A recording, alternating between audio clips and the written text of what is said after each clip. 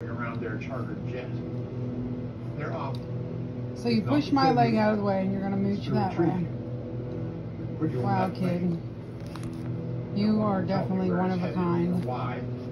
But as I sit here imagining nightmare scenarios, I'm aware that with a full tank of gas, I love you, but you're not getting my lunch.